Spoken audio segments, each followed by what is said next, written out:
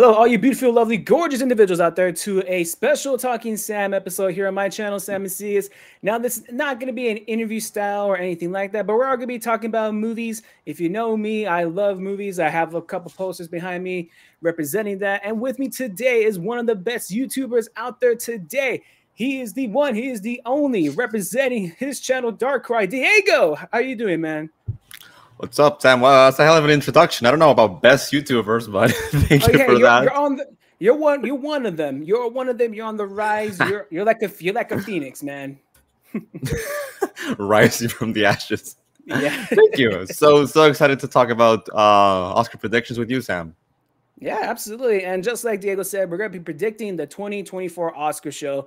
And this is this is a really interesting year. I think one of the better years for the Oscars, in my opinion. Uh, I am really interested to get in, into it with Diego. And just to give everyone out there, let you know, we won't go through all the categories because if we do, we'll be here just as long as the show might be, probably three plus hours. And no one wants that. I know, I know we, we got pretty faces here, but we no one wants it wants that. Unless it's Killers of the Flower Moon, but uh, hey, you know, true. Only Martin Scorsese could direct that. yeah, that is true. That is true. So we're gonna get we're gonna head into this, get into it right away with best editing, and let me pull up that category for best editing real quick. All right, so the nom- nominees for best editing are Anatomy, Anatomy of the Fall, The Holdovers, Killers of the Flower Moon. Oppenheimer, and Poor Things. Uh, Diego, give me your thoughts real quick. Who do you see as the front runner out of this category here? That's Oppenheimer. I, I, Oppenheimer. I think Oppenheimer is is the one that, I mean, usually there have been some cases in years before in which the best uh, editing award goes to to films that don't have too much editing on them. Like it's mm-hmm. you, you've seen them like on uh, not not not also not only Oscars but also like BAFTAs or yeah or Golden Globes or critics. Like they also go to like one take movies. For for example, 1917 was one of them. Mm-hmm. But I think over here, it's like that whole synch- synchronization of the music and the acting and the shots and every like everything, the visuals and the sound that really just made the movie what it is, the juggernaut that it is. And I think part of it is because of the editing. I and I think you know that that's one aspect that I feel like is gonna be finally get recognized at the Oscars mm-hmm. for Christopher Nolan movies because if there's something that um it's always a highlight in in his movies is the editing and I think what he what he told in the span of 3 hours that's an achievement. I oh, think oh, yeah. he's a clear front runner. Yeah. Absolutely. And what I just recently watched the movie, and one of the lines that Cillian Murphy's character Oppenheimer said in that film was, "Listen to the music," and that yeah. is just so poignant into what he was able to edit in the film. I, I think it's one of the best sound editing films in a long time. Oh yeah, yeah. Absolutely. Whether whether it's an up uh, a Nolan directed film or any other film, you cannot deny how beautifully sound, especially in the one scene where they're uh, testing the bomb in that in New Mexico. That I I'm not gonna kid I'm kidding you not, man. That blew me out of my seat. The sound Same. out of nowhere coming out, forget it. Yeah, I think that's that's the most well, that's one of the best cinematic experiences I ever had. Not only oh, the movie, but that scene itself. Because I also mm-hmm. saw I saw that scene in IMAX and everybody was on the edge of their seats. Yes. And when they cut to the silence, like everyone was silent. Oh, and that yeah. is so rare. And you could you could hear I I'm I I watched it with some friends, and mm-hmm. this friend of mine was almost close to having a panic attack. I'm not kidding. It was so surreal the experience. No, yes. Oh no. I, um but he's fine. No worries. Um okay. the the editing has to go to Oppenheimer. Has that? It's and it's been like winning in in every uh aw- yeah, every award ceremony. Yeah. Yeah. So film editing, we were gonna give that to Oppenheimer, and that's that that's a no brainer. No brainer. Up next, we're gonna we we're gonna go on the international side. Since our good friend Diego is international, we're gonna go to the international feature film, and the nominees are E Capino from Italy. Apologies if I butcher some of these names, everybody. Io Capitano. That's Io it. Capitano. Okay, there mm-hmm. it is. Io Capitano from Italy. Perfect Days from Japan. Society of the Snow from Spain the Teachers Lounge from Germany, and the Zone of Interest from the UK.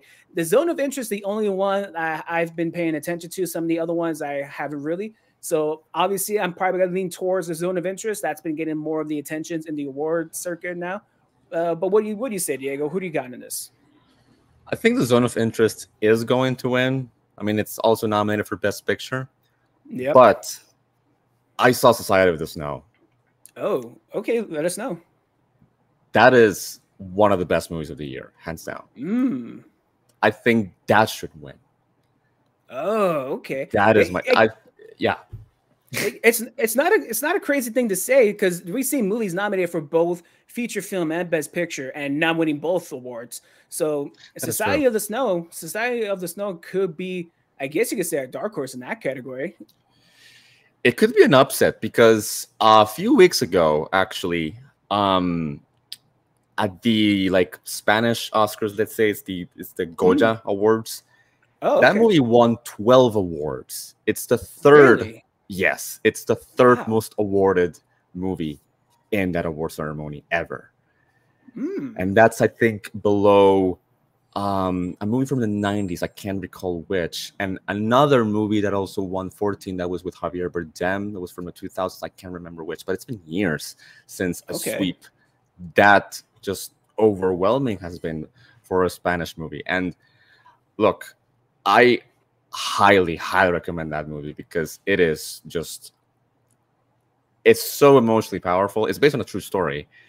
Okay. And the production in that movie is I cannot believe that that movie was overlooked for the Oscars because it was, it's only nominated for two for international feature film and I think mm-hmm. best makeup. Yeah, best makeup and yeah, I, I think the zone of interest is gonna win because it's the one that has been with the most attention out of all these. Yeah. But I really wish Side of the Snow could win. I, I if there's an upset, if one if there's one potential upset that I may see happening over here, it's the Side of the Snow. Like nice. that would be crazy. Yeah you got now you got me interested in Society of the Snow. I'm gonna I'm gonna try to find that before the Oscars come out because I, I yeah I've been seeing a lot of Zone of Interest getting a lot. It has a lot of the nominations in the Oscars yeah. category. So now now you got now you got me thinking on Snow the Society of the Snow man. Now you got me thinking. All right. Yes, I'm, i mean both both movies are phenomenal. I also saw the Zone oh. of Interest is also like very it's very dark, very. Mm-hmm. um it, it has that kind of like um quality that you like you you you watch the movie and you appreciate it so much mm-hmm. that you cannot that I cannot see myself watching it again because it's just so ah. dark the, the, the, the, thematic. It's it's very okay. similar to the way I felt about Schindler's List, for example. Yeah, that also that reminds me of the um Jake Gyllenhaal Hugh Jackman movie of a I forgot the name is escaping me, but it's about them trying to find a, a uh, Hugh Jackman's daughter by uh, Predator, and they go all over the place. It's going crazy, and the movie is so hard to watch. It's prisoners, very prisoners. Yes, yeah. I was thinking prisoners, but I couldn't. I wasn't sure if that was right, but man, that was a hard one to mm. watch again. That's from Denis Villeneuve. That's one of his best. I, I think that's yep. one of his best movies. Yeah. Oh, oh yeah, hands down. That's Denis Villeneuve. That's one of his best movies, hands down. All right, so we, I think Diego, you are on the Society of the Snow Train. I'm gonna I'm stick gonna... in the zone of interest just because I don't haven't heard much on that. So that's that we're gonna stick on that right there. Up next, we're gonna go into the writing categories, both adapted and original. Let's stick with the adapted part, part first. The nominees are American Fiction, Poor Things, Zone of Interest again, Oppenheimer, and the controversial part of this category, Barbie. And I understand why hmm. Barbie got put in the adapted screenplay. But before we get into that, uh, what do you think, Diego? Who who's coming out on top? Because I obviously it's easy to say Oppenheimer, But if I got to give my dark horse win on this, it might be Poor Things. It might be Poor, Poor things. things. Yeah. Why? Why do you say that? I just thought the writing of that film was just so unique and clever, uh, and it was just so so out there, so new. It really got me like, oh wow, okay, this is this is interesting here. Like it, it- when movies gets me thinking like that, it gets me Yeah. thinking about like a like thinking just like in my box, and then gets me out of it. I was like, wow, okay. And Emma Stone just killed it in that role too. Absolutely. Um, that's so interesting because out of these 5 Mhm. my favorite script is Poor Things. It's Hey! the it's the best script. I think it's the Mhm. best script of the year. It's the with the sharpest dialogue. Yep. And there's a lot of nuances to the to the lines of each character, and it's the structure was just so unique for a um comedy kind of movie because it is comedy. Yes. So- oh yeah, absolutely. it's yeah, it was. Br- I would love for Poor Things to win because Mhm. this is the category that I think, um, above production design and costume design. That, of course, yeah. like I'm also pulling for Poor Things to win. I would love for adapted screenplay to to be for Poor Things, but I, the thing is that it hasn't won adapted screenplay in in televised Yeah. ceremonies even. I think I'm gonna go. I, I think I'm gonna be a kind of place a safe bet with American Fiction, which surprisingly Mm. has won a lot of adapted screenplay awards. It has. It has. That one's been running away with a lot of them on the television side. Yeah. And you, I see your, I see your point. I, I do hope Poor Things does get this win Yeah. because comedy, comedy as itself, as a film category, does not get enough credit. I Mm. love comedy. I'm a big, big fan of comedy back in the days, and so seeing something like this getting recognition is great. Hopefully, it gets rec- more recognition with the win. I don't know. Hopefully, but uh, let's talk a little bit about the Barbie nomination because that one really surprised me when it got adapted. Was it going to get a, a- a nomination for writing? Absolutely. That movie was insanely good. But adapted screenplay, I as reading it, I, I know they base it off numerous other scripts from other writers. That's why they put it as adapted. But as as a film fan, as as you are, Diego, do you feel like it should be unadapted or should it have been an original category? I think it's original. I don't understand the. I mean, yeah, it's it's based on a on an IP as Barbie, Yeah. but it's not adapting. Like it's it's just the names. It's just like Barbie and Ken, and, and that's that's pretty much it. You know, like it's like saying, um, the Lego Movie would be going up would have gone up Mhm. for adapted screenplay. No, I mean it's based on an IP, Lego, yes, but the screenplay it's like it's it's not based on anything. It's based on just your exactly. imagination. So Like, yeah. um, I don't see why it should be here.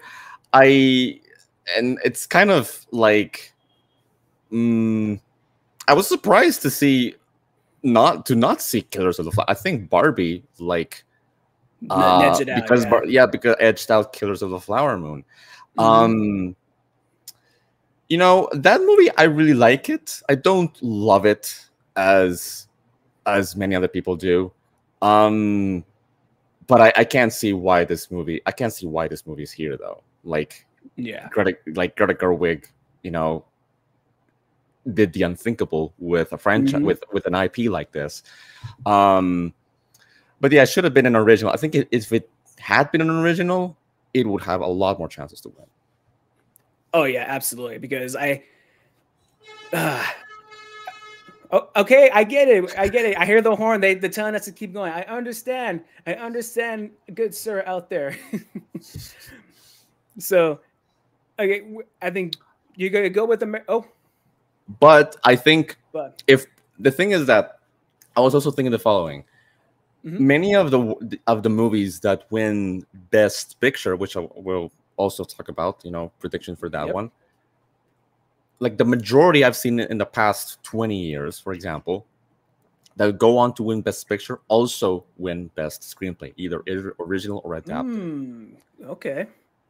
I mean, it's happened. It's happened with Coda. It's happened with Coda. Moonlight. It's happened with Mhm. Spotlight. You know, and for example, everybody thought La La Land was going to win. La La, La La Land did not mm-hmm. win uh, yeah. screenplay. Um, so if Poor Things wins, for example, I would be thinking, wait, if Poor Things wins adapted screenplay. Oh, oh, okay. And if there okay. is an edge for Emma Stone to win Best Actress, which we'll talk about in mm-hmm. a bit, there may be an upset in Best Picture, but we'll see. Ooh, we're, it's we're, the we're, only. We'll talk about more of that, but yeah. it's the. Ooh, now you now you really got me excited when we talk Best Picture, man. Now you really got me excited. But as of right now, I think you know, let's let's think on poor things. Let's think on poor things for the win. I know you're staying safe with American Fiction. I'm gonna yeah. I'm gonna go with my heart and go with poor things, and that doesn't always work out for me sometimes. But you know, I'm gonna I'm gonna roll the dice. We're in Vegas here. I'm betting against the odds. if Oppenheimer right. wins that that's a screenplay, by the way, I think it's all yeah. said and done. That's like oh yeah, it's, it's gonna sweep entirely. Yeah. This is I, I think Oppenheimer is gonna be one of those movies that wins ten plus awards in this Oscars. It could. It definitely yeah. could. Yeah, yeah, I think I, I feel like minimum is gonna win seven. Yeah, I can Bare see minimum. that. I can definitely yep. see that. All right. Now up next is the original screenplays, and the nominees are Anatomy of the Fall, The Holdovers, Maestro, May December, and Past Lives. And a lot, I feel I see a lot of people on the Past Lives train for original oh. screenplay, but I recently saw The Holdovers, Mm. Oh my god, mm-hmm. I absolutely love that movie. I think it's Paul okay. Giamatti's best movie in a long time. Yeah, it is. Yeah, I, I, I think I must stick with the holdovers for original screenplay. Just so how just how amazing that was. The story he was able to tell between Paul Giamatti and I'm forgetting the actor who he has the relationship with throughout the whole Dominic movie. Sessa. He's amazing. Yes, yes, amazing. absolutely amazing. But what, do you got here, Diego? Who, who's your front horse in this? I think the, the front runner is Anatomy of a Fall. It's mm-hmm. it's gaining a lot of momentum, a ton of yeah. steam. I was super surprised to see it win at the Golden Globes first of all, and then mm-hmm. ever since then, it has win it has won so many screenplay awards, and I think I think that's gonna win. However, the other two is the holdovers, which yeah. I mean, if if there's one more than one actor win in the Oscars, I can see original screenplay for the holdovers. Mm, for sure. Okay. For sure. But my dark horse is one of my favorite movies of the year is Past Lives. I'm pulling for okay. Past Lives here. All right. It's one of my favorites. Yes. I I think um that that script alongside uh, uh Poor Things and Oppenheimer mm-hmm. as well is my it's my favorite. I, I was floored. I was absolutely floored by that movie. It affected me so much. Nice. Okay. I need now. I need, I need to get past lives on my list before next before March 10th, because again, I've heard a lot about that one too. It's a, it's a lot of past lives and uh, Anatomy of the Fall. That's kind of been the two that's been getting the most circuit more attention when it comes to original screenplay. So I I'm really interested to see if if my pick can e- out a win at the end right there. All right, now we're gonna get into best original music for song and score. Up, we're gonna do the score first. The nominees are for American Fiction, Laura Karpman, Indiana Jones and the Dial of Destiny, John Williams, the legend himself, Killers of the Flower Moon, Robbie Robertson, Oppenheimer again, Ludwig Göransson, and Poor Things, Jerkson Fredrickson. Now listen, Diego, I love John Williams. I think he is a living legend when it comes to score. The man is gonna be doing this past 100 years old. He was supposed to retire yeah. when he was 90. and on it, honestly, I would have had him win this category any other year, even mm-hmm. though the mm-hmm. movie itself was probably not the best. Mm-hmm. But Ludwig Göransson, man, that man's a that man's a magician. That man's great. I love I've loved Ludwig Göransson since the first Creed, since Creed 2, when he got onto Black Panther, when he was doing The Mandalorian. That I think Ludwig Göransson is a shoe-in to win original score hands down in this category because he killed it in Oppenheimer. Absolutely, he's gonna win his second Oscar. This is, oh, and oh, yeah. the guy is so young. I don't think he's even. He 40. is. He's yes. he's a. I loved I loved his score in Tenet as well. Oh my god, Tenet was a good score. Yes, I think the music in that movie mm-hmm. like made it 10 times better. Like it made it so much more enjoyable to me. Thanks oh, yeah. to his score. Um yeah, he's absolutely going to win. Um he's been sweeping all all season. It's one of my favorite scores in movies ever. I've been listening to that score Ooh. for yes. I think it's going to okay. go down as one of the best scores of a movie ever. Mm.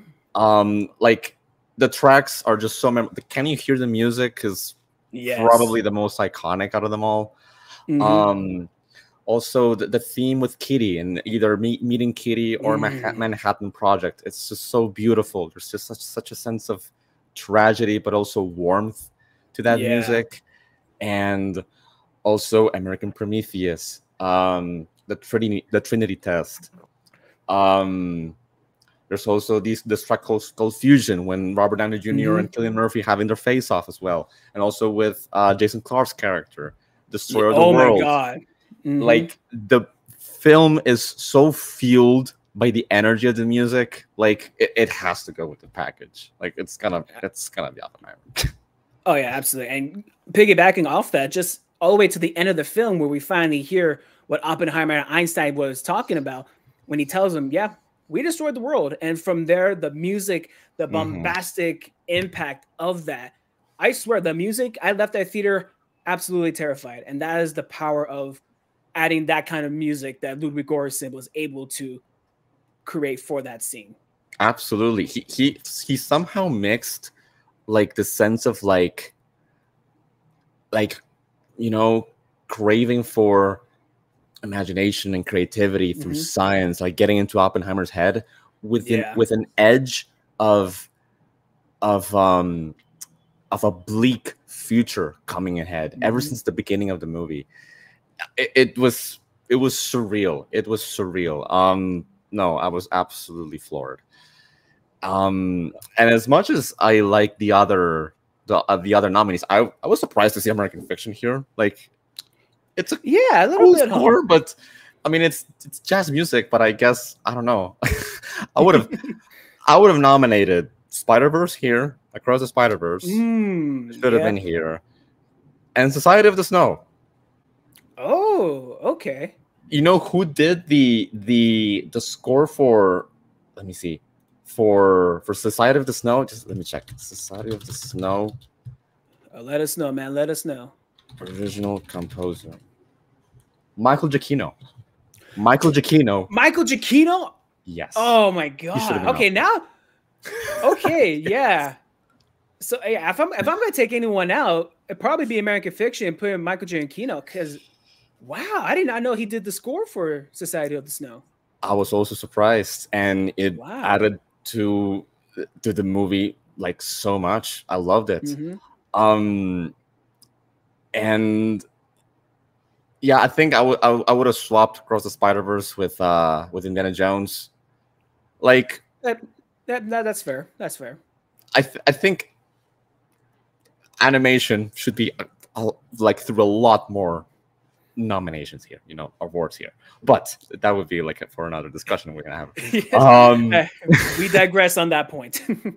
I also love the score for Killers. It also like really added to the suspense of the of the movie.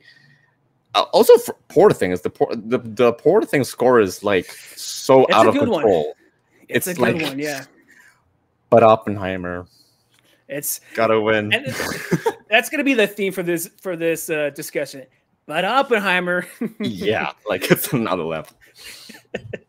All right, now on to probably I think the more fun night when the in the Oscars where they get everyone to perform the songs. Best yeah. original song. We got The Fire Inside from Flamin' Hot, I'm Just Ken from Barbie, and Never Went Away from American Symphony. Wawazi, I think it's how you pronounce it. Apologies if it's mm-hmm. yeah, apologies if it's mispronounced. Uh, Wawazi from Killers of the Flower Moon. What I was made from from Barbie. I think it's a two horse race, and they're both from Barbie. I'm just Ken, and what I was made from. I think I'm just Ken had that impactful, ridiculous silliness that yeah. it was so it was a weird part of the movie they put it in, but throughout the sequence, throughout the sweet sequence of that of that musical, it was really, really fun, really interesting, especially at the end. But I think what I was made for is probably the shoe in to yeah. win it. I'm a little upset Jack Black Peaches wasn't nominated in this because we're gonna have Ryan Gosling and Jack Black singing at the Oscars. That would have been so epic. it would have. It would have.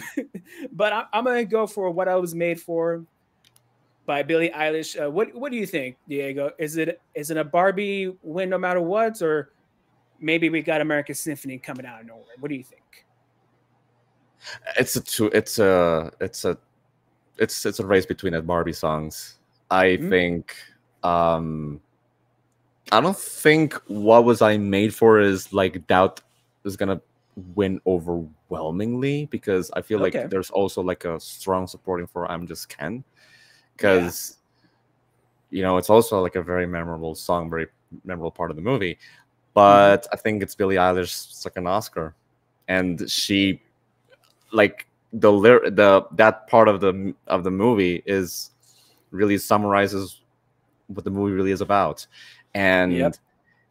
it's with Margot Robbie's character, is with Barbie herself.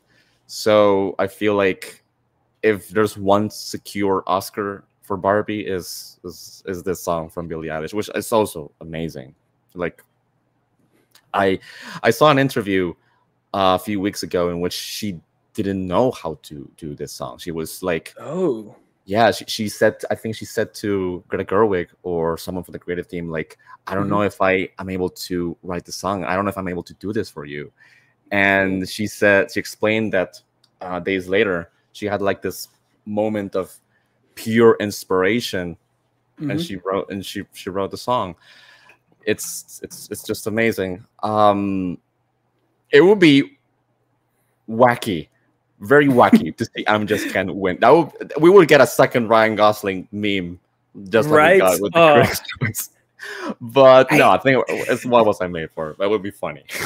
yeah, I mean, it, it, it would be fun to see I just Ken winning it because as much as you were saying how much impact that song had, I think I'm just Ken does have that same impact. But yeah, what I was made for, it, it comes at a point of the movie where like Barbie was making this huge decision for herself. Yeah. On whether or not to be alive. And describing how you how you were talking about how Billie Eilish didn't know how to tackle that. I think that speaks more volumes into the song itself. Yes, and I think I think that scene alongside with America Ferrera's speech, I think are the 2 mm-hmm. scenes that resonated the most with people. So it, it, it just feels like it fits for this song to win. Yeah, absolutely. So I I think we're we're both on the same train here. What I was made for for the win for best original song. Up next, it's going to be something that I think we're both going to have a lot of fun with. Animated feature film. Mm. And the nominees are The Boy and the Heron, Elemental, Nimona, Robot Dreams, and Spider-Man Across the Spider-Verse. Diego, give me your thoughts real quick. This is probably probably this is probably the closest race for animated feature in a long time. So what what does your heart say and what does your brain say? How do you find the how, where do you find the middle ground in that? oof, oof. I was waiting for this category because this is the most exciting category, I think, like yep. personally. Um mm-hmm. my brain says it's a very fierce race between Across the Spider Verse and, and the Boy and the Heron. I would I didn't think but the Boy and the Heron would be put in this much of a fight with Across the Spider Verse. I thought Spider Verse had it in the bag, no matter what hap- what other movie came out in 2023. Yeah. But but the Boy and the Heron has been really surprising a lot. And the Golden Globes and the BAFTAs, Spider Verse won Critics' Choice, but also won in the uh, PGA for Best mm-hmm. Animated Feature. I'm really not sure which is gonna win. I could go either way because into the Spider Verse also won. Hayao Miyazaki also won with Spirited Away. Mm-hmm. Like I think it like they're gonna decide which movie to give their the second Oscar. You know, um, it's very it. maybe across the Spider Verse just because of that PGA win might have the edge, mm. might have the edge, and it also swept at the Annie Awards just recently. Yep, with seven awards. It did. But I'm just hoping. I'm just fucking hoping. I'm sorry for the f bomb. I know you're good, man. You're good. If Nimona wins, if Nimona oh. wins, oh, okay, I, that would be the happiest it would be, it, it would make me the happiest person ever. It, it would be one of the best comeback stories for a movie mm-hmm. ever. I'm glad you mentioned that because I think Nimona getting just nominated is a feat on its own, especially yes. through all the hurdles and ridiculousness they had to go through. I was I was a little surprised Teenage Mutant Ninja Turtles Mutant Mayhem wasn't nominated. I thought that was a really good one this year. But Nimona, that's definitely a dark horse for the win here in animated feature. I think Elemental was a victim of poor promotion because what, mm, yeah. what they were promoting for that movie did not resonate to what the film really was. Mm-hmm. Unfortunately, I'm glad it got nominated. That was one of my one of my favorite animated movies last year. I don't see it getting in the win. And like you said, it's Miyazaki, it's Marvel, Spider Man, and the Boy and the Heron. It's a two horse race. It can go either way. It's a coin flip. I may be biased right here if it not if you don't notice. I have a poster for the movie. I, I think I have to go Spider-Man across the Spider-Verse because what they were able to do for a for an animated movie itself was amazing. And yes. take out take out the multiverse storyline out of it. It is a story about loss. It's a story about family, how to keep everyone together, how to how how to do the right thing for not only yourself but for the larger picture of its own. That's a great met, uh, story that they were telling. Oh man, I think, and and I know it's Miyazaki's final film. It's his crescendo, his goodbye, farewell.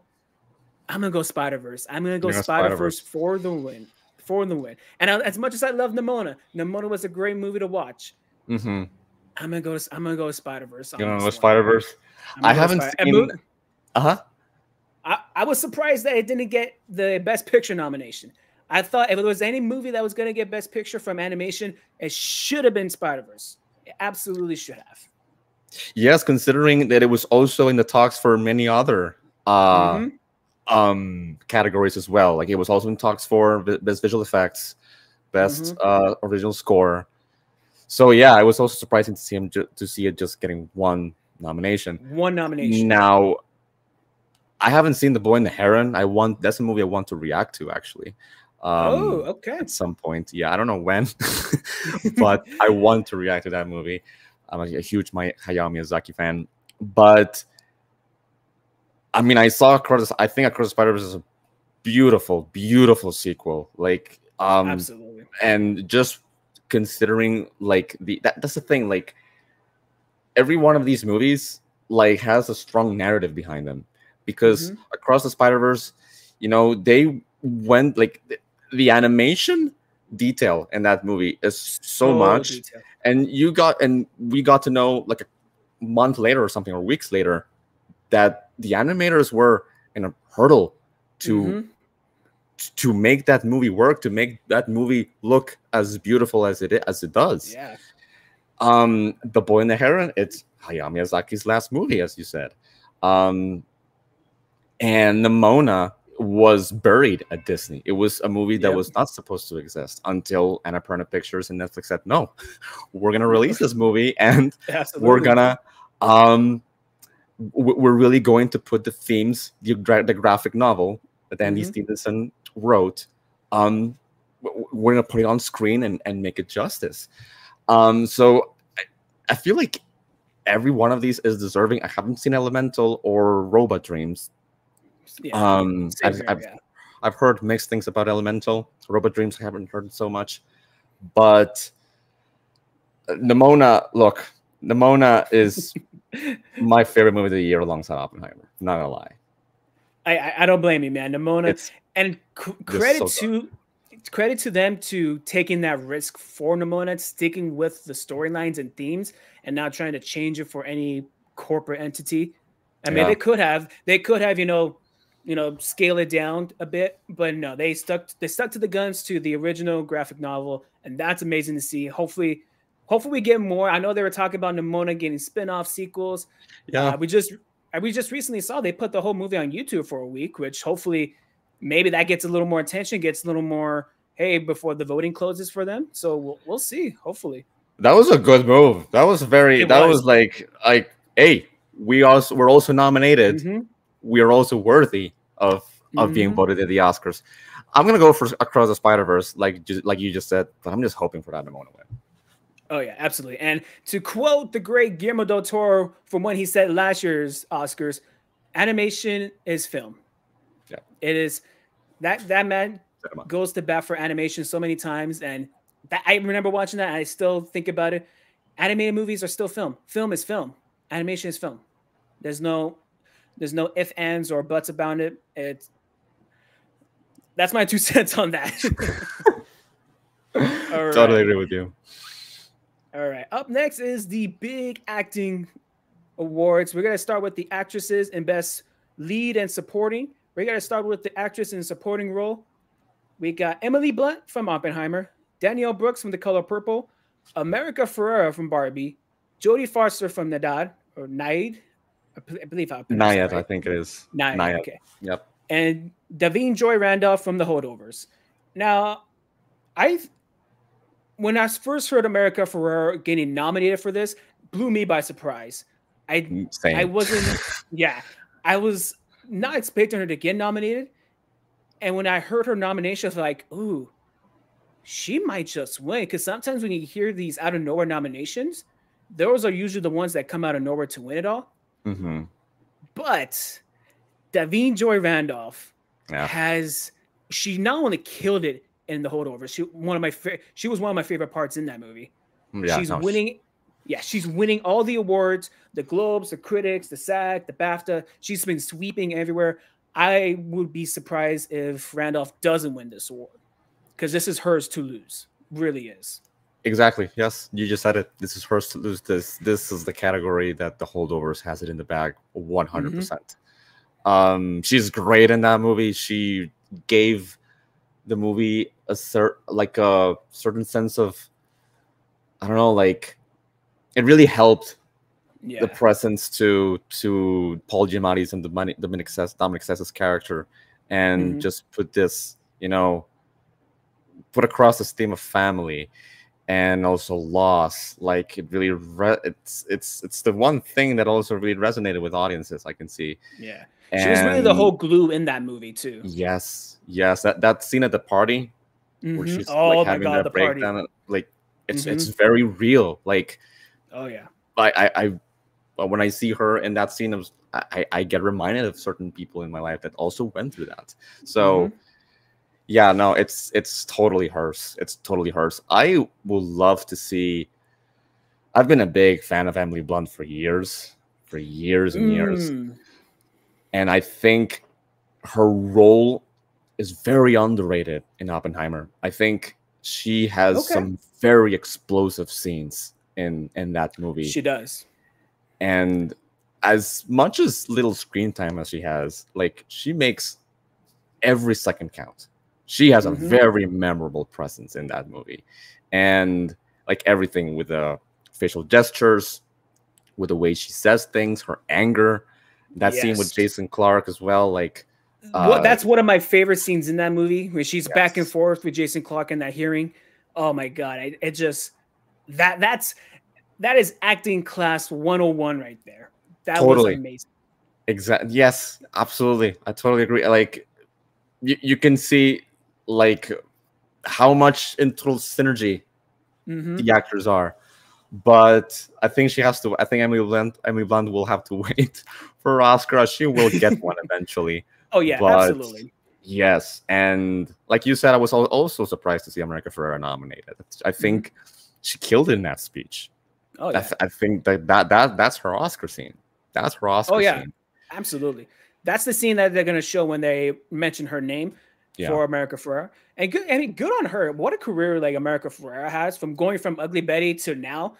That yes. that's very testament to her and still sticking around Very surprising. Yes, I haven't seen Daniel Brooks in Color Purple or Jodie Foster Same. in Night. Same Jo- here, yeah. Jodie Foster, like I, I Hey. looked, um, I looked over the internet a few days ago. It she hasn't been nominated in years, like in over It's twenty years or something. Like Yeah. I'm surprised because she's also, I think, arguably one of the best actresses that have worked ever. Yeah. Hey, Jodie Foster still got it. She still got it, man. Just got it. And you know what? This just came this this just came to mind. I was so convinced of Angela Bassett winning last year for Black Panther Mm. Wakanda Forever, and she was winning all those awards too. And then out of nowhere, Jamie Lee Curtis swipe came in, Yeah, swiped it right. away. I say it as she stole it from Angela Bassett. but the way you were describing Emily Blunt and her performance in Oppenheimer, I could definitely see that happening in this year's Oscars as well. I can I can definitely see it. I I don't think it will, but if there was a percentage chance of it happening, I'll give it a 25% chance. Yeah, considering Blunt how many Oscars Oppenheimer could win, like it could be Mhm. like such an overwhelming sweep. Yeah, It could be the biggest sweep since Return of the King. that is true. That is true. It true. could be the biggest because Everything Everywhere won seven, Slumdog Mhm. Millionaire won eight. Mhm. I think Oppenheimer might win minimum seven or eight, and sweep more than that. Who know? Who knows if they're just gonna go all o- all on with Oppenheimer? yeah, it's looking that way. I, I think it def it'll definitely reach 10. It will definitely reach 10 wins Okay. for sure for this year's Oscars. I I fully believe that. But I I think our both our picks, Stephanie Joy Randolph for the win for Best Supporting Actress. Now, Best Actress in a Leading Role. We got Annette Bening from Naya- Nayad. From sorry if I said Nayad. wrong again.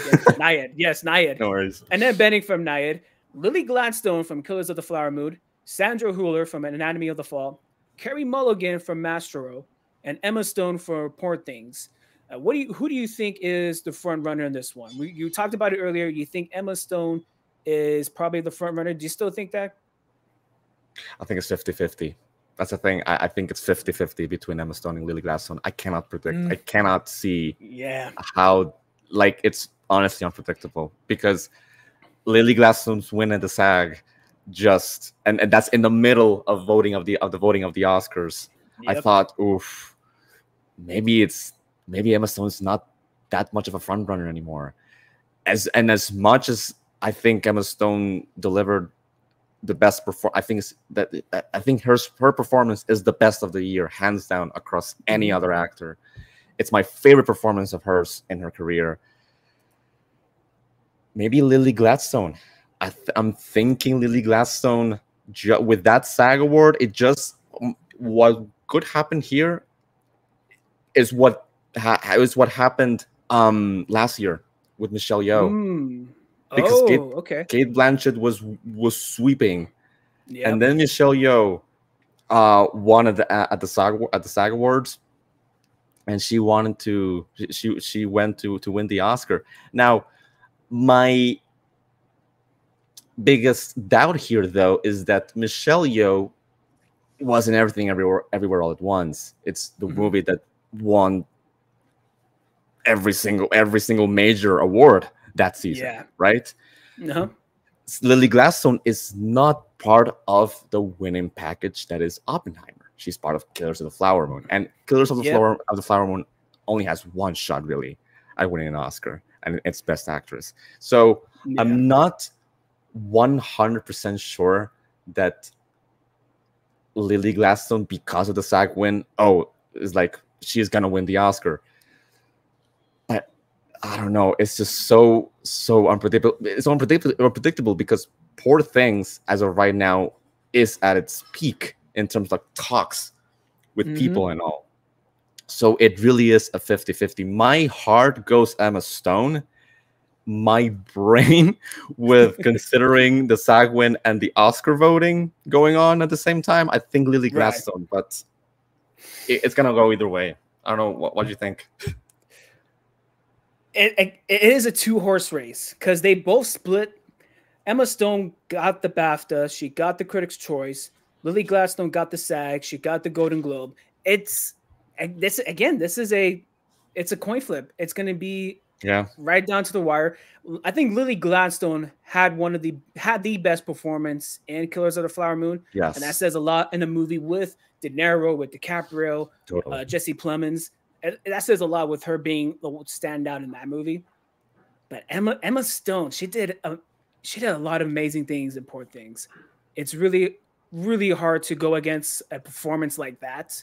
What she had to do to really get into that character Oh man, that's the thing. Like both performances are so different because yes. Emma Stone is going like mm-hmm. all out. Lily Gladstone mm-hmm. is so much more subtle and somber. Yes, and there's a lot to her facial expressions as well. Mm-hmm. So I think either, either or cinema, cinema wins with either because there are two of right. the best performances of the year.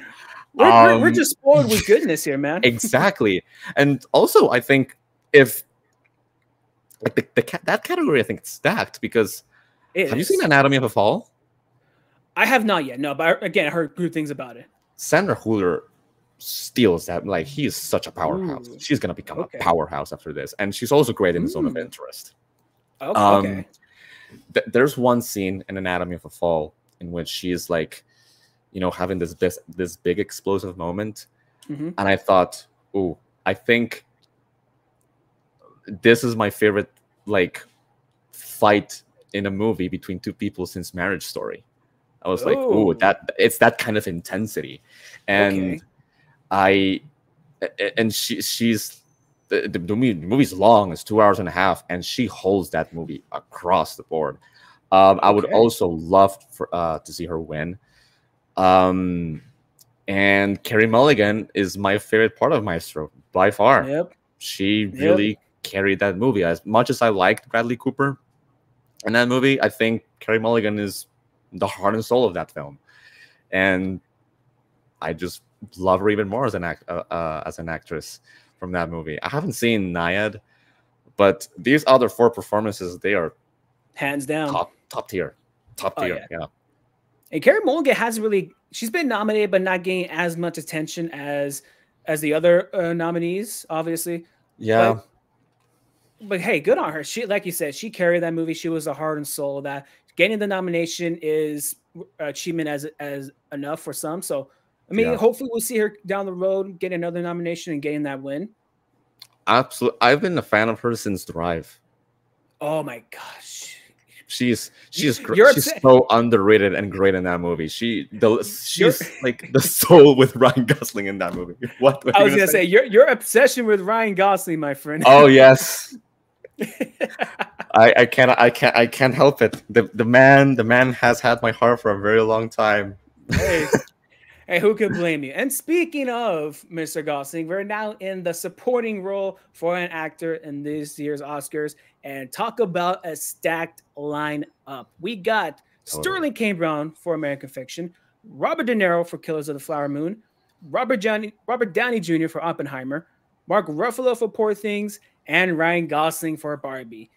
I, I have to say, this is probably the most stacked year of a supporting role in a long time.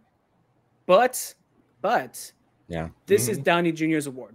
Yes, this is RDJ's award hand down. I said that after watching Oppenheimer.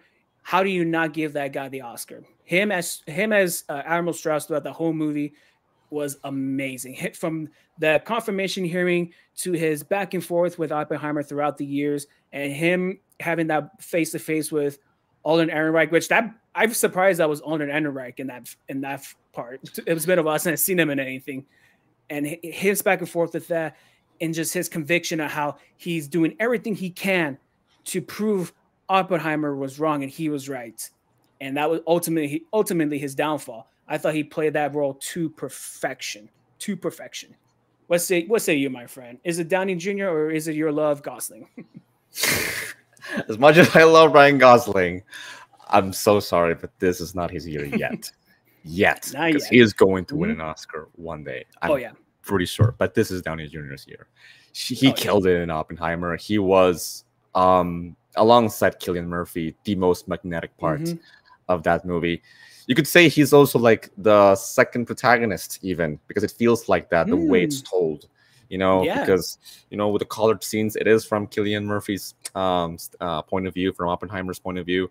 The black Yeah. and white it really is like the Robert Downey Jr. show, Mhm. and yeah, he, he added this this like sense of um darkness and and and like shadiness to the movie that that that like it, it, it was it was a very it was a very particular energy and i'm so Mhm. glad nolan casted him in this movie because the guy has been amazing for years i feel like it's not only going to be an oscar for his performance in oppenheimer but also like a lifetime achievement award Mm, kind of okay. like Yeah. because um look I, I know him i know like you know him as iron man is you know this really um it's ingrained in pop culture and it's not taken seriously as a performance but i feel like I, I can't see anyone else as well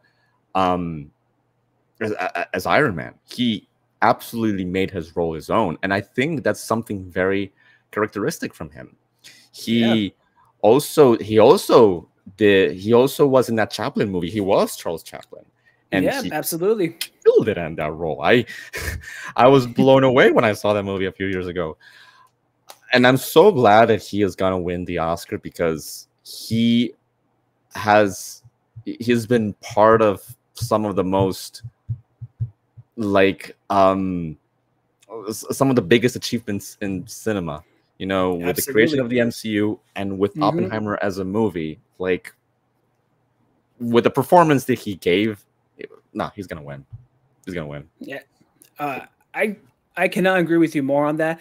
And it's funny you say that about it's going to be more of a lifetime achievement, and that makes a total that makes 100 percent sense. He he was nominated for Chaplin back in the day. He was nominated for Tropic Thunder, one of my favorite Yes. movies of his. One of my favorite movies of his on, on all time, minus the MCU movies. He did start a whole cinematic universe behind him. He was the he was the jumping point on that, and you know he and it's crazy after after Iron Man after his time he was kind of not, not floundering, but he had Dolittle, which really was Not a good flat on his movie. yeah, not a good movie. Uh, he's he was doing a lot of these uh, restoration shows on Max, and you kind of Mhm. figured, oh, maybe he's going to be stepping away from acting a bit. And but when you get that call from Nolan, you it's hard to say no to to Nolan, and he he answered the call in more ways than one, and it's amazing. And not, and not to under under undersell any of the other nominees. Robert Downey Jr. uh, Um, uh, I'm sorry, Robert De Niro. He's a living legend. He always brings it. It's oh, yeah. well, I can I can think of a couple bad movies of Robert Downey Jr. or Robert De Niro. Robert keep De Niro. But you know, he I think when he put him with Scorsese, it's magic in a bottle every time. Sterling K. Brown has always been one of my favorite actors for a long time as well. He's always been killing it. Right, Ryan Gosling as Ken, I thought was astounding. I really do. That was if there was a scene stealer, that was him. Any scene he was in, Yeah. he make sure he he stole it and didn't he ran away with it, didn't go back to the bank or anything like that. He makes sure that it was right there for him for the taking. And Mark Ruffalo, again, I love Mark Ruffalo. I I didn't give him enough chance in this category just because, you know, it's Downey Jr. Gosling. That I think that was a two horse race throughout the whole thing. Mhm. And Downey Jr. Yeah, that that one's gonna be the. If there was a 100% guarantee of a win, I'm putting it on Robert Downey Jr. to win. Totally, totally, and it's also because it's part of the the sweeper of the Oscars. Mm-hmm. Uh, So I I can see other scenario happening. Sterling K. Brown, I'm glad he, I'm really glad he's nominated because Oh, yeah. he uh he's also a really re- I saw him. I, I didn't realize until I saw the movie. I I saw him the first time in Supernatural years ago. He was a vampire. Ooh, was a vampire in. Supernatural. Yes, it's it's a long time. It's a long career he's had he And- has, yeah. and um he gave really this sense of like warmth and he, he grounded the movie with Mhm. jeffrey wright i i loved the scenes with with them together like Beautiful. it really brought it home to me and um uh, yeah so glad he's nominated also Robert De Niro. He give he gave. Mm-hmm. It's been a minute since he's given such Yeah. a dark performance Mm-hmm. because that was it was absolutely terrifying. It was like I'm so, I was so glad to see him with this caliber of acting again because mm-hmm. he he was in his A game in the 70s, Oh, yeah. in the 80s, in the 90s. Then he had like fun roles here and there, Yeah, you know, he's got to get money is- for the grandkids. Yeah. which is great. You know, one of my favorite fun roles of his actually, which is not that much talked about, is him in Stardust. Have you seen that movie? oh, it's been a minute. It's been a minute since I seen Stardust. He's completely wacky and out of control in that movie. Like I was so glad I was so glad to see him like being so having fun, you know? yeah. But and then but then to see him like in a role so sinister and so Mm-hmm. subtle as well because it's not like overwhelmingly like evil, you know? Like it's like on your face, but you know Yep. there's evil behind him. Um yeah, so glad to see him also nominated once again. Like he can he's one of the best actors of all time. Absolutely. Um, Mark Ruffalo, he is one of the funniest parts of Poor Things. I'm so glad to see him like just off He the is. hook. he is. He he is one of the best parts in that movie. Not to downgrade his um nomination, I just think it's a stronger year uh, compared to all the other actors. But Ru- Ruffalo, when he got this, when he had to bring the silliness, he brought it tenfold and played played so well off Emma Stone. It was Exactly. He she, he Mhm. was on Emma Stone's level yeah. of chemistry. It Like, was- the, the mhm. chemistry was right there, and I really. It's hard for me to picture another actor that could be on that same level of chemistry other than Ryan Gosling, which uh, obviously Emma Stone has a lot of chemistry with in movies. Um, I would I would have loved to see Willem Dafoe in this in this Ooh. category as well because it's a Yep. It's an it's it's the archetype of the scientist, but not Mhm. the type you expect. It's it's Yeah. very different. It's it, it was it was so warm. It was so Mhm. it, it- Not, not that menacing. Not the, yeah. Exactly, not the menacing type. It brought this kind of Mm-hmm. real emotion to the movie that I really wasn't expecting. Yeah. Um, but That's yeah, a good Ryan- argument to make. Yeah. Yes, but Ryan Gosling, like my God. And here's the thing: hmm I really think he did steal. He did steal the movie for me. I know there's a lot of talks about, um, hey, Ryan Gosling wasn't really that great in the movie. I've seen that take. Like, Mm, come on, R- Ryan Gosling brought his A game in terms of comedy here, and he has been. yeah. I mean, Margot Robbie was also perfect. She was the perfect choice for Barbie. Like, I cannot Absolutely. see any other actress Absolutely. performing. Like, and she killed it. She really killed in that role. But Ken, like the, the role of Ken, he really made that Mhm. role his own. And the thing is that Ryan Gosling, I don't think there's been credit enough to his comedic performances that much because Oh, absolutely not. he is also he's great in drama, but he's also great in Crazy Stupid Love. hmm But mostly, my favorite comedic performance of his, extremely overlooked movie, is The Nice Guys. He is Thank you. I was thinking of the nice Yes. guys. Him and Russell. Him and Russell Crowe played so well. That's that's honestly my favorite movie of Ryan Gosling. I it I absolutely love that movie. I hope I Totally. was always hoping we get a sequel of that one. I'm so glad you said the nice guys. no, yes, that's that's one of his best performances. That's that's him completely off the hook. If you if like Mhm. if someone if, if you're a fan of Ryan Gosling and Barbie, Yes, I highly recommend The Nice Guys because absolutely. he's the funniest in that movie. And you, like you said, Russell Crowe, like unexpectedly perfect chemistry right there. Yes. Mhm. Incredible. And I think that's not as much as a, as a fan I am of Ryan Gosling. Oh, before that, Mhm. the, I think the reason why The Nice Guys was not that talked enough when it was released is because it was released in 2016. That's the same year as La La Land. Oh yeah. I think it came out in the wrong year. If it came out That's in a different one, could be a different conversation. But it was with another top tier Ryan Gosling performance in La La Land. Mhm. I don't think I don't think Ryan Gosling's performance in Barbie is even top five. There's like Mm, yes, okay. he's a I think that's one of his best performances in Barbie, but I don't think that's close to his top five. Wow, I'm I'm I'm really interested to hear your top five at a later later time, unless oh, you want sure. to do it now. Up to. no, it but, could be a different conversation. yeah. but yeah, I I think the general consensus here, Bud Oppenheimer, but Robert Downey Jr. I think exactly. that's the general consensus here. All right. Up next is the actor in a leading role, and again, I think a heavy stacked cast of actors here for the lead role. We got Bradley Cooper for Maestro, Colman Domingo for Rustin, Paul Giamatti for The Holdovers, Cillian Murphy from Oppenheimer, and Jeffrey Wright from American Fiction. Listen, as much as I love The Holdovers, Paul Giamatti gave his best performance. Jeffrey Wright absolutely stole the movie in American Fiction, his best performance, I think, to date. Bradley Cooper is Bradley Cooper. It's hard to see him in a bad movie. Yeah. Colman Domingo out of nowhere, fantastic work. You got the Oscar nomination. You might be the next Kang in the MCU. We don't know yet. But Oppenheimer, Cillian Murphy. Oppenheimer, yeah. if there's ever a year for this man to get as much recognition for his work as definitely this year.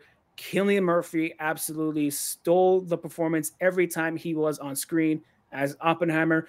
Oppenheimer and just his back and forth with every uh, character that he had, whether it be with Matt Damon's character, the uh, Justin Har- uh, Justin Hartley's character, I think the one professor that he had with back in Berkeley. Justin Hartnett, yes, his character he had back and forth with, his back and forth with uh, Downey Jr., his chemistry with Florence Pugh, with Emily Blunt, every and the scenes alone with him, it's just it's astounding. It's one of those yes. one of those performances that we will talk about forever. And yep, Cillian Murphy, I, hands down for the win. I I feel like we're on the same page on this one too, right? We're on the same page. We're on the same. I I thought there was going to be much more of a close race between Cillian Murphy and Paul Giamatti. Honestly, yeah. I thought there was going to be a lot, a lot more split awards there. Mm-hmm. But after Cillian Murphy won at the SAG Awards, I'm like, that's that, Cillian Murphy's done. Oscar. Yes, and yep. I totally agree with you. Like the the chemistry that he had with the rest of the actors, like you you you see how much care and passion there went for to support Cillian Murphy's yep. performance. Chris Nolan has mentioned that in, in interviews, and also Matt Damon and, and Robert Downey Jr. It was all really to support Cillian Murphy's work, and mm-hmm. his performance, like you know, alongside the music and the directing, he is really one of the reasons this movie almost got one billion dollars. Like yes. he he is just so human, so vulnerable in this movie. He gave such a that's a thing. He he gave such a complex performance with the with his facial expressions. Mm-hmm.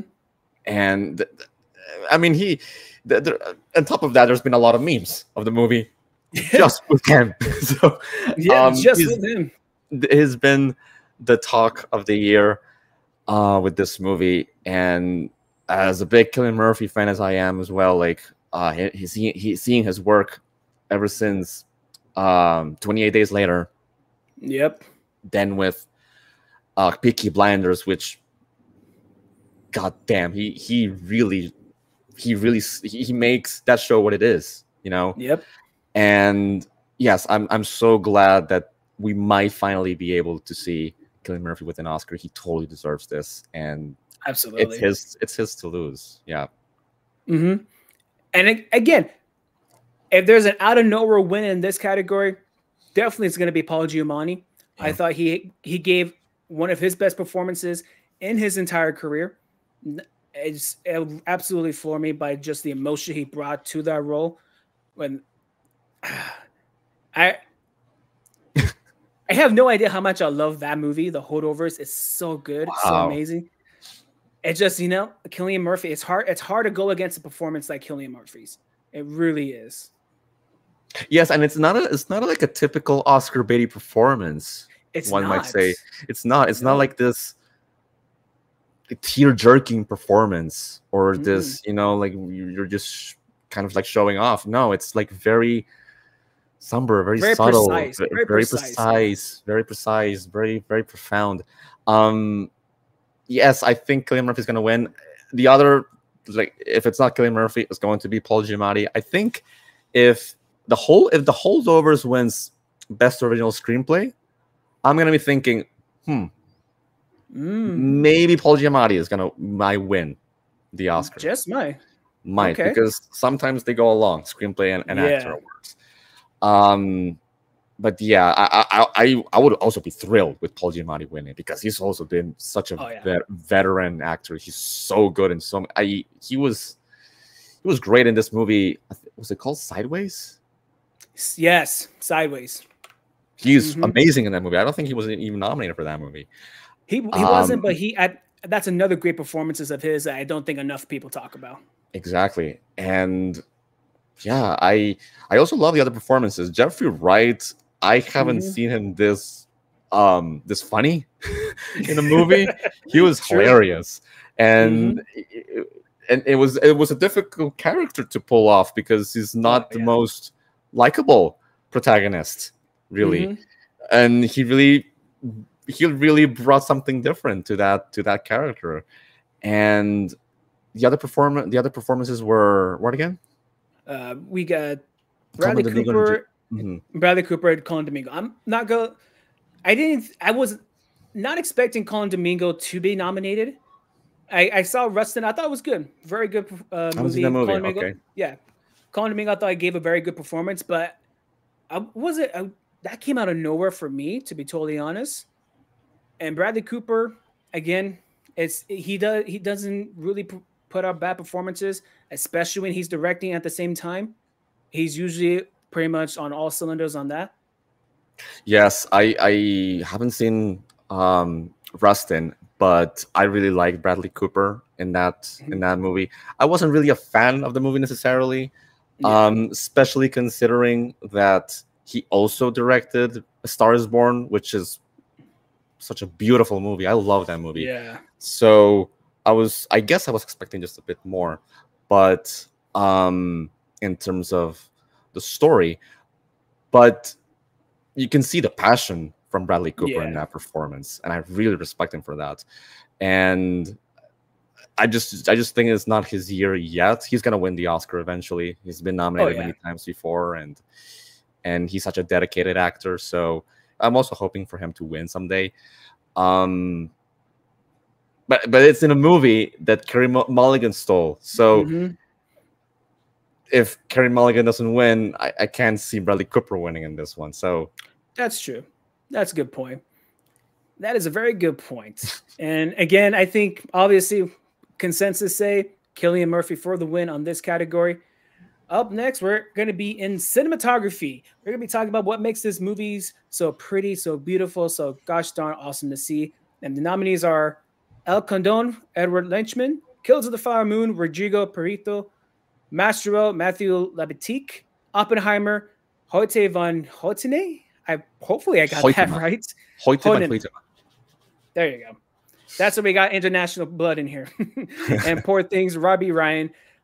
Again, I think it's another Oppenheimer win. Cinematography wise, it's hard to go against that kind of camera work that was in that movie, especially when, especially in that testing scene for the Trinity Project. I thought it was absolutely breathtaking. What do you What do you think, Diego? I think I think Oppenheimer is gonna win. He's been sweeping in and has been sweeping in this award as well. Like some of the scenes really stand out because of the because of the shots. E- Even it's just like facial expressions. Like mm-hmm. y- y- you remember the scenes because of that, and also like I don't know. There, there, there, there are some scenes in which they're in they're in Los Alamos, and I don't know, like the dust, the way the dust looks, and almost like it, the way it feels, it's just It feels just like it's hitting you. visceral. Yeah. Exactly, it's so visceral, and even even the stuff when killing when you get into Cillian Murphy's head, like the Mm. stuff he's the stuff he's imagining with the atoms and all. Um, no, he's it's been amazing. I, I would have loved to see Hoyte van Hoytema win in other years.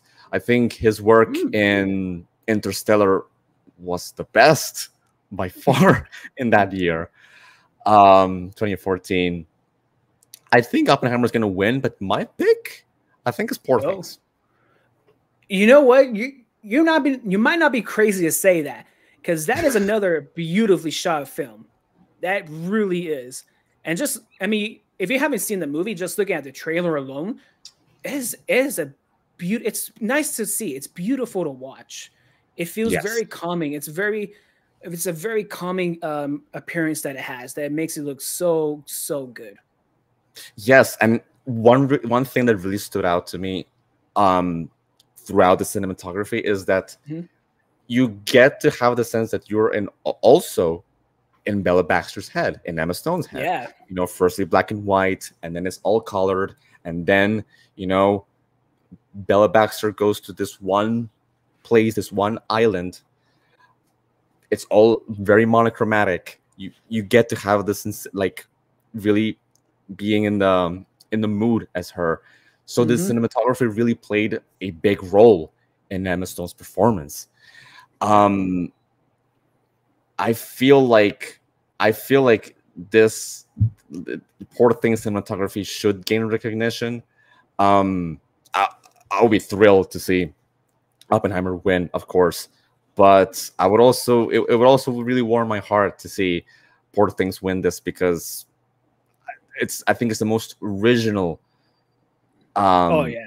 visually looking movie of the year. It it was beautiful, beautiful. Absolutely, absolutely. It, it, I could definitely see it as a dark horse winning, but again, hard to go against Oppenheimer this year. Really hard. All right, we're at we're almost at the end here, folks. We got two more categories to go through. Up next, we got Best Director. The nominees are Justine Triet from Anatomy of the Fall, Martin Scorsese from Killers of the Flower Moon, Christopher Nolan from Oppenheimer, Yorgos Lanthimos from Poor Things, and Jonathan Glazer from Zone of Interest. Now, before we get into who we think are going to win, I just want to get your opinion real quick. Do you feel Greta Gerwig was unjustifiably snubbed in this category? Because I I think there's maybe one or two names you can replace to put Greta Gerwig in. Because I thought she did an amazing job directing Barbie. It's hard to say because there are many other direct like very well directed movies that I prefer over Mhm. Barbie. Okay. The issue really is that I cannot see any other director directing Barbie even. That's the thing. Like I- That is true. hmm I, I cannot see um I really can't see any other visionary as her, like the, the, the visionary that she's becoming.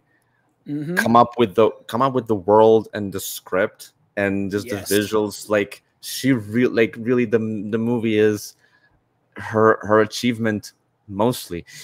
I mean Yeah. Margot Robbie and Ryan Gosling, they did an amazing job, but if it wasn't for Greta Gerwig, Her unique direction. vision, yes, and and the comedy chops that she has, hmm amazing amazing the thing is that i i agree with this list i do Okay. agree with this list Okay.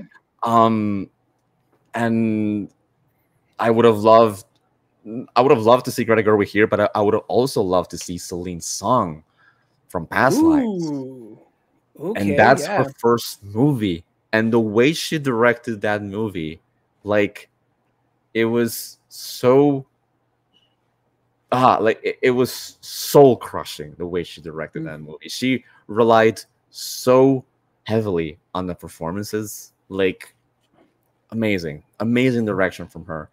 But i also i i, I mean no how can you how can you compete with nolan in oppenheimer? Um Right. I can't see any other filmmaker uh, other than Martin Scorsese directing Killers of the Flower Moon. Mhm. Like that's that's the kind of movie he does, really.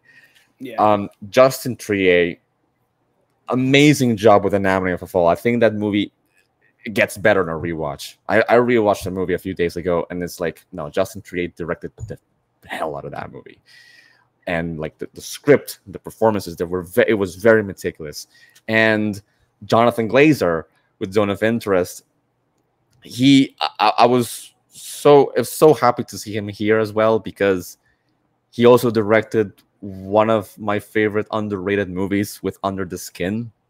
Mm, with okay. Scarlett Johansson.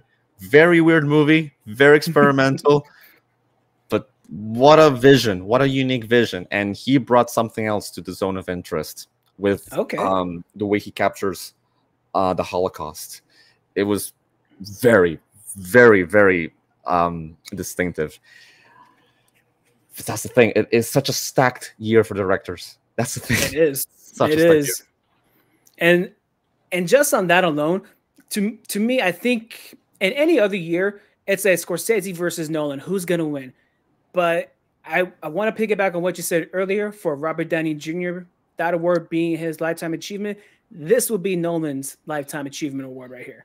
Totally. His his work for the Dark Knight trilogy, for a Memento, for Interstellar, for eh, maybe not Tenet.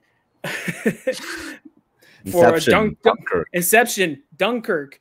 I I really think this if there's ever going to be a year where Nolan wins Best Director and really put a pin as one of the great directors of all time, it's going to be this this year definitely for sure.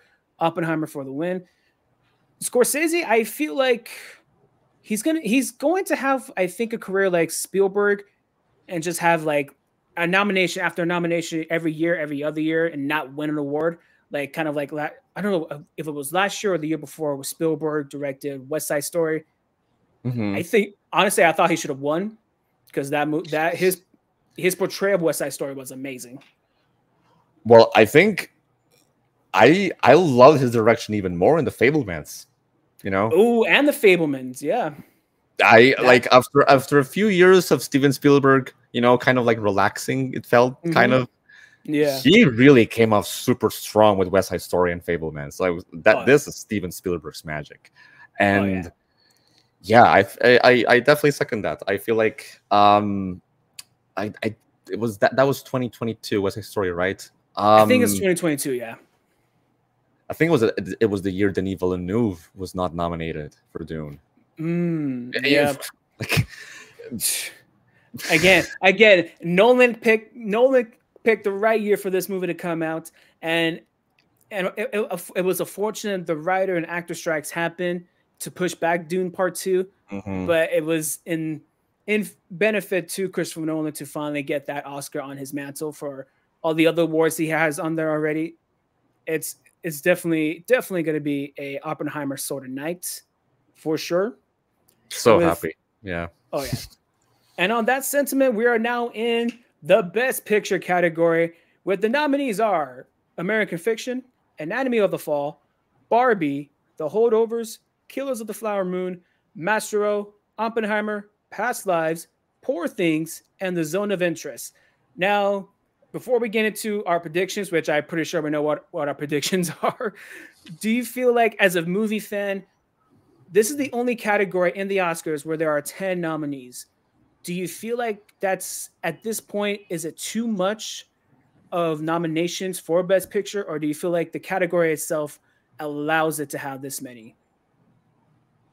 It's been a stacked year for movies. Yeah, they they mm-hmm. totally deserve to be here. I would have swapped a couple movies here and there.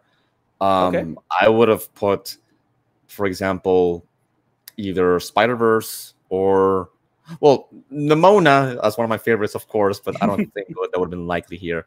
But Across the Spider Verse, like, did have a shot here. I think the Society of the Snow should have gotten more love from from the industry, but it totally justifies having it being ten nominees. I think it should stay, and I see. I think it should stay that way. Um, yeah. going forward, and it's. I think it's really the best year for movies ever since 2019. Mm-hmm. That's true. Because, like you said, there's a there was a couple movies I thought that you could also swap in in this category. Like you said, Spider Verse. Uh, one movie I don't know if you saw called Air with uh, Matt Damon, Ben I haven't Affleck. Seen it. I want to see it. Oh yeah, it's I. That's literally one of Ben Affleck's best directed movies in a long Whoa. time. Yeah, and the story nice. of, I think the story itself is so interesting on how the making of Michael Jordan's shoe for Nike and just okay. it's really yeah the really underdog story of where Nike was at that time, just being a you know, the third, the fourth best shoe company in America, Mhm. and what it- the steps they took to get Michael Jordan to sign, and then we all know the end of the story now where Nike is. I Mhm. thought, damn, that it's it's hard to go against Ben Affleck because he usually he usually puts out some really good performances uh, and and directing performances as well because he directed it too. It's I was really surprised that one did not get any any attention throughout this award season. Probably because it came out like super early in the year, but yeah, And there was no that one I- marketing. and no marketing too. Yeah, that one because it is an it's an one of those Amazon films. Those ones are hard to get the marketing on, especially if they come out in March or April. Mhm. But yes, let's see. I am again my love for the holdovers. I think Barbie had a fantastic year that no one saw coming. Killers of the Flower Moon. It's a I, I wouldn't call it a Scorsese classic, but it, it is still a fantastic film nonetheless. And Master of Bradley Cooper, Steven Spielberg produced. It's hard, hard, hard to see that being a bad one. But yeah, Oppenheimer is def- definitely, definitely for the win. Everyone, everyone here, you're you're just participating. We're all here just to enjoy Oppenheimer, get that Oscar. I don't think we're getting a Moonlight La La Land situation in this category. Will Smith is going to come up and slack anybody for getting the wrong categories in this one. Yeah, I think uh, this is Oppenheimer's award to lose. It's not going to lose because it's going to win. And what, what do you think, Diego? Is this uh, slam dunk Oppenheimer? It's a slam dunk. It's a huge. It's one of the biggest slam dunks in Oscars in years. Like Yep. like mentioned before, I think it's gonna be the biggest sweep since Lord of the Rings: Return of the King. Mhm. And I mean, it's won every major award in Best Picture, in the Golden Globes, the Critics' Choice, PGA, Song Yep. Ensemble, that is like the equivalent of Best Picture. the- Uh, everything, everything. Um, it would be the one of the biggest upsets if Oppenheimer didn't win. Somehow, Oh, yeah.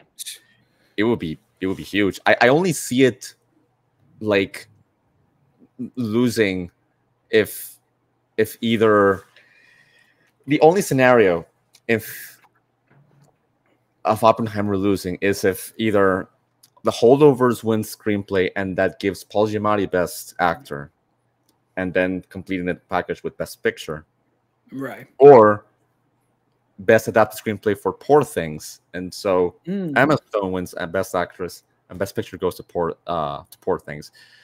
The, the, the reason why I say this is because there's been a pattern in past years that the screen like the screenplay award usually goes in fact with, with Best Picture, and it's even more Right. reinforced with the Best Actor, either actor or actress.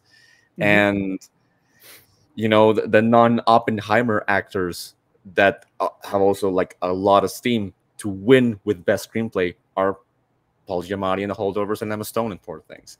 So that's the only scenario in which I could see Oppenheimer losing, but it's very, very, very unlikely.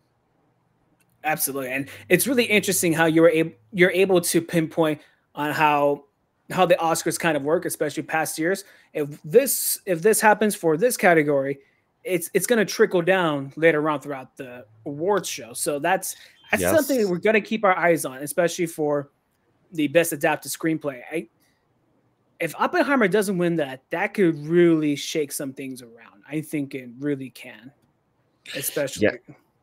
I mean, last year, Everything Everywhere won screenplay, Mhm. and it Yeah. wasn't really in the talks f- to win Best Screenplay. And so that came with the package of Michelle Yeoh and Ke Huy Mhm. Quan and Jamie Lee Curtis. Here, here we go. And and with Yep. Best Director and Best Picture. Here's, and that's the thing, like Best Director doesn't necessarily equal Best picture. they're going to yeah. get Best Picture. There have been splits. You know, one Mm-hmm. of the one of the most famous ones was um Saving Private Ryan versus Shakespeare in Love. Yeah. Oh my Steven god. Spielberg yes. won, and Mhm. Shakespeare in Love swept with seven Oscars, including Best Picture. Yep. That was one of the biggest upsets. And uh, with La La Land versus Moonlight, La La Land Mhm. won six Oscars. It was the most wins in that year, but Moonlight won what? First adapted screenplay, best supporting actor with Mahershala Yep. Ali, best picture. Best picture. Yep. That that It all it literally all ends up. It really does. There's no conspiracy board that we got here. It really the, the math is there. The math is there. It, it, it's hard to go against that. And it's it speaking of like those kind of split years when it comes to director and best picture, I do remember one year where again going mm-hmm. about on Ben Affleck, where he wasn't nominated for best director in 2013 for Argo, but That's won true. best picture. And I I thought he he had the best directing performance out of that category. Yes, he he he he directed the hell out of mm-hmm. Argo, and it yeah, was also super surprising. Yeah, and not even get nominated in that. That it's I think we're going to see more Ben. Yeah, it's really weird because he. I think he won like the award for best director for the directors show somewhere in that year. But yeah, th- this again, this is a this was a stacked year in film. Just as great surprises that we got all around. Some surprises we were not expecting, but just the absolute enjoyment of film that us film fans are just yeah. being showered with. And it's amazing so it's, it's pretty much going to be an Oppenheimer kind of night. And before we kind of wrap everything up here, Diego, what's kind of what's been some of the movies this year? Yeah, you kept your eye on seeing that it's going to have some award show attention coming next year. Award attention. Okay, the camera. Okay, I was getting unfocused for a sec. Um, I feel like Dune Part Two is going to be a huge contender for many things. I haven't seen oh, the movie. Yeah. I'm very looking forward to it, but text alone, like it's gonna be it's gonna be a huge contender. And considering oh, how Dune Part One won six Oscars, was nominated for 10 mm-hmm. and it wasn't even that universally acclaimed from from it critics. Really wasn't. It this one is getting so much acclaim from from so many people. Oh, uh, I feel like Dune Part Two is going to be a huge one. Um, maybe, maybe, um, it's hard to tell for prequels and sequels because mm. Furiosa is a, is a prequel, right? Yeah, Furiosa. Mm-hmm. And the thing is that it's George Miller directing again, and I think he's gonna pull a hell out of, of a performance from both Chris Hemsworth and mm-hmm. Anya Taylor Joy. But I wonder if that movie is gonna get attention at the Oscars, considering it's like hey, it's like the prequel movie. So I, I would I'm really rooting for that movie to to be good and to do well. So maybe tech awards at least. Um oh, yeah. and also also one of the big movies is um Joker 2. Joker Part 2, yeah. Joker Part 2. Um Joaquin Phoenix, if Joaquin Phoenix said yes to a sequel, it's because it's something special. That's true. That is true. And it's Lady Gaga. It's with Lady Gaga, who mm-hmm. gave a hell of a performance with A Star Is Born. She was by far the best part of a, a House of Gucci, which was not mm. the best movie, but she no. really held the movie together for me. Oh, um, yeah. And just consider like seeing Lady Gaga's career, the crazy career. I feel like she's gonna nail Harley Quinn. If if there's oh, one yeah. performance I'm really looking forward to this year, is Lady Gaga's Harley Quinn. Like, watch out for that because she might bring something very, very special. Margot Robbie as Harley Quinn, outstanding. Lady Gaga might just give something different that the Oscars, that that the industry might like, mm-hmm. On in a different kind of way. Um, there are also some movies that um, I don't the things that, that they have been pushed. I was really looking forward to Bong Joon Ho's um, Mickey Ooh. movie with Robert Pattinson, but yeah. that was pushed for next year. Mm-hmm. that um mm-hmm. there there is a couple. Uh, there is one Kevin Kevin Costner movie coming out later this year. I'm trying to remember the title. I believe it's called Amer- Horizon. It's called a hmm. Horizon. Mm. Okay. Kevin Costner coming back to direct. I think it's something that's been missed. I think he hardly okay. ever misses when he's directing. Is um, especially a western. Kevin Costner westerns bring me back to the days of oh man, what was that one western he was in? Besides Tombstone, besides Tombstone, I know people are gonna say Tombstone, Tombstone. Um, uh, Dances, Dances with Wolves. Dances, Dances with, with Wolves. He won with that yeah. one, yeah. Yeah, that's one of my favorite movies of all time. Dances with oh, Wolves. Oh, wow. Okay. Nice. Yeah. So seeing seeing him come come back to the director's chair to do this again, another Western cowboy style movie with Horizon, a two parter. We're getting two parts in this year, one in June, one in August. So that's gonna be really interesting to see what kind of story he's gonna tell. Because I think he's also a great storyteller as well. So Horizons one, I'm definitely looking looking forward to the most this year. Uh, there there is one there was one with Zendaya. I believe it's called. Let me. I just Challengers. Challengers. Yes, I when I saw that trailer, I thought, "Ooh, this is an interesting kind of take she's going with." I am very much intrigued by this kind of love triangle mixed with the tennis aspect around it as well. And that movie is directed by Luca Guadagnino, isn't it? Yes. He also directed Call Me by Your Name. I wouldn't be surprised mm-hmm. if that was a good movie and it was a contender for for. I would love to see Zendaya like really growing as an actress. Like, oh yeah, like I think she is the best part of Euphoria, for example, in that show. Mm-hmm. She kills it in that role, and I'm also really yeah. I'm very I I forgot about that movie. I'm really looking forward to that one as well. Absolutely, and and of course we're getting we're getting Gladiator 2, Ridley Scott coming back yes, to direct this right. one. I listen, I I love Ridley Scott. Gladiator is one of greats all time. Do we need this? Do we need a sequel, Gladiator 2? I don't know. If there's a story to tell, I can't wait to see it. I'm, I'm very much interested to know what kind of more of the mythos they're bringing out, especially in this Gladiator world. What do, what do you think, Diego? You, you have hopes for Gladiator 2? I have hopes. I mean, Gladiator is also one of my favorite Ridley Scott mm-hmm. movies. It's also one of my favorite movies of all time. I think that's Russell Crowe and Joaquin Phoenix in that movie are electric yep. in that movie, mm-hmm. and uh, and the score in that movie is like that's one of Hans Zimmer's best. Absolutely. Beautiful, beautiful. Um, the thing is that Ridley Scott as a filmmaker, it's kind of hit and miss lately. Yeah, it's it really has been. It's the last duel was incredible. I thought that was mm. great movie. Beautiful. It mm-hmm. didn't get any recognition. Um, but then he came up with House of Gucci, which was a very weird. I I don't know what happened with the editing in that movie, for example. Yeah. Um, we just had Napoleon. him with. I was gonna say, yeah, Napoleon.